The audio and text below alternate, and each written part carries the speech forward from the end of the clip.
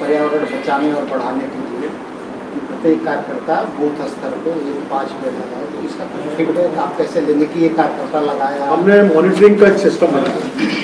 नियमित रूप से क्योंकि आप जानते हैं कि भारतीय जनता पार्टी में एक ऑर्गेनाइजेशन स्ट्रक्चर है।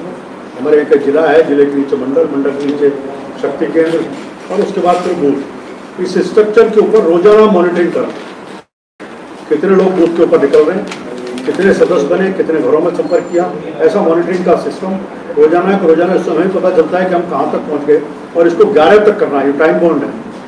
पिछली बार की सदस्यता कई महीने तक चली थी, लेकिन इस बार की सदस्यता में समय सीमित है, ग्यारह अगस्त तक चलेगी और ये अभियान चलेगा।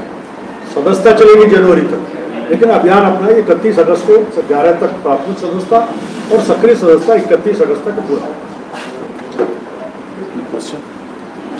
सर, ये नए सदस्यता अभियान के अलावा जो पार्टी के वरिष्ठ कार्यकर्ता जो बहुत दिन से उपेक्षित अपने को महसूस करके बैठ गए हैं, क्या उनके लिए भी आपकी कुछ योजनाएँ हैं? इसमें भी पार्टी ने कहा है कि जो हमारे पुराने कार्यकर्ता, मैंने जब सब वर्गों में बात की तो पार्टी के स्ट्रक्चर में भी तय किया है। जितने वरिष्ठ कार्यकर्ता उन कार्यकर्ताओं के भी घर पर जाकर के अगर वो आ सकते हैं उनको। इस पार्टी के सदस्यता अभियान से प्रत्येक सदस्य को जो कभी भी जनसंघ से लेकर के भारतीय जनता पार्टी तक इसमें कभी जोड़ा रहा है तो प्रत्येक व्यक्ति को पार्टी के सदस्य इस मीरा भाईंदर में भारतीय जनता पार्टी का संगठन बहुत बड़ा है और आज उसकी बैठक भी एक व्यापक बैठक रखी गई है, जिसके अंदर करीबन 1500 दो हज़ार कार्यकर्ता उपस्थित रहेंगे और हमें पूरा विश्वास है कि पिछली बार हम करीबन अस्सी हज़ार के आसपास सदस्य हमने की थी। उसके अंदर साठ पैंसठ हज़ार ट्रेस हो पाए थे, दस पंद्रह नहीं ट्रेस हुए थे।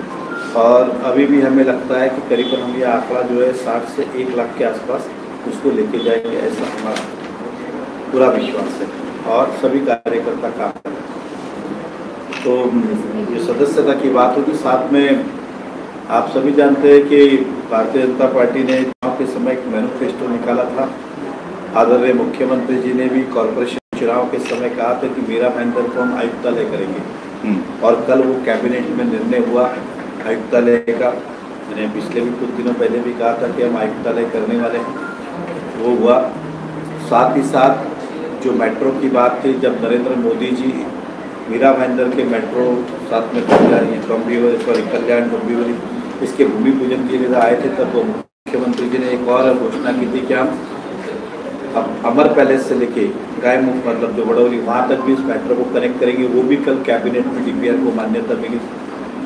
ये जो जितने वादे किए थे, वो सारे एक एक करके पूर्ण हो रहे और साथ ही साथ मीरा भाईंदर का तहसील कार्यालय, वो भी पिछले 8 जुलाई को एचपीसी कमेटी ने मान्यता दी। उसके मिनट्स आते ही मुझे पूरा विश्वास है कि 15 अगस्त के आसपास तहसील कार्यालय भी मीरा भाईंदर का शुरू हो जाए और आयुक्तालय भी कमिश्नरेट ये भी हो जाएगा।